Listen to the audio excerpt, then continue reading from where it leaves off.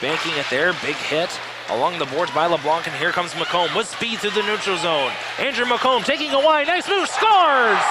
Andrew McComb makes it 1 0 Liberty Flames. What a goal by McComb. And as we bring up on the replay, the deep to force Wolak to go to the post check, opening up for the backhanded goal. As you see, gets around the defender. He goes forehand, excuse me, forehand. And he beats Wolak on the post check. But smart, I have to say, Wolak played aggressive. He didn't give up his ground. It was just a great shot. And picking up now is Boschman as McComb had tied up the Hokie. Shot on goal there goes wide off the backhand. McComb still with it there as he had Wolak beat. Cornelison back for McComb. McComb steps in, pass in front, they score. Nice pass from Andrew McComb onto the stick of Boschman, and he makes it 2 to nothing on the power play. And it was a nice pass, and he's sitting in front of the net waiting for the pass, and Wolak really can't can't do anything about it as McComb was sitting beautifully, the, or McComb with the great pass, excuse me, right to Boschman. And it's just staying in front of the net like we talked about traffic, and Virginia Tech, they tried to take a risk on the penalty kill. Sherry back for McComb. McComb looking inside. Now to Sherry, fakes the shot. McComb has it. Shooting lane, takes a shot, he scores. Andrew McComb under the glove makes it three to nothing.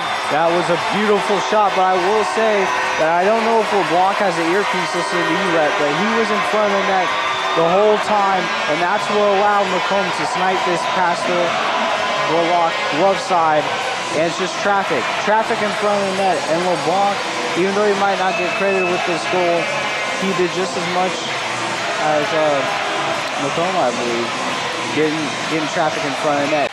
Along the sideboards for McComb, he chips it ahead for LeBlanc.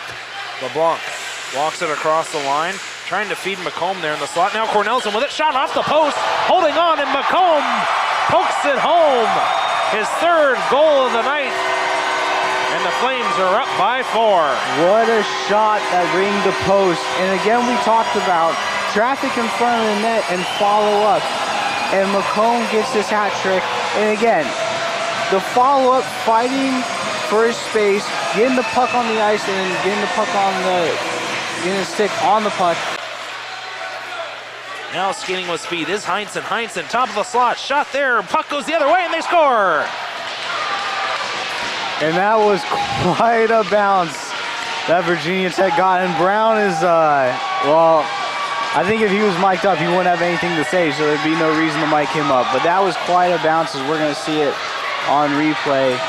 And I believe number 12 with the goal, Henson, what a shot. As we see here, it was deflected and it just got lost with Brown. You know, he lost sight of it, you know, and then to uh, just to to pour some alcohol on the wound, you know, he gets knocked knocked over. Back for Backer, and that's going to do it here.